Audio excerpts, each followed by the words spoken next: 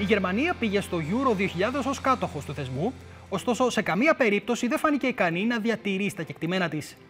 Στην τελευταία αγωνιστική των ομίλων, στις 20 Ιουνίου 2000, έπρεπε να νικήσει την Πορτογαλία και ταυτόχρονα η Ρουμανία να επικρατήσει των Άγγλων με μικρότερο σκορ. Όμως, στην αναμέτρηση του Ρότερνταμ, ο απόλυτος πρωταγωνιστής ήταν ένας Ήβυρας, ο Σέρζο Κονσεϊσάο. Στο 35 ο Παουλέτα κάνει την προσπάθεια, η κόντρα ευνοεί τον Κονσεϊσάο, ο οποίος με εύκολη κεφαλιά ανοίγει το σκορ. Ο τότε ποδοσφαιριστής της Λάτσιο συνέχισε στον ίδιο ρυθμό και στο 54 με σουτ εκτός μεγάλης περιοχής έκανε το 2-0 εκμεταλλευόμενο το λάθος του Καν. Ο Πορτογάλος ολοκληρώνει τη λαμπρή εμφάνισή του με ένα ακόμη γκολ στο 71 αποκλείοντας τους Γερμανούς. Μέχρι στιγμής παραμένει ο μοναδικός ποδοσφαιριστής που έχει πετύχει hat-trick απέναντι στη National Mannschaft σε τελική φάση Euro.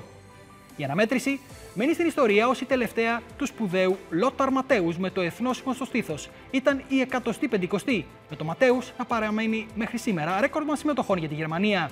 Οι Ήβυρε θα φτάσουν μέχρι την ημιτελική φάση όπου θα αποκλειστούν στην παράταση από τη Γαλλία, με τους πετινούς να φτάνουν στην κατάκτηση.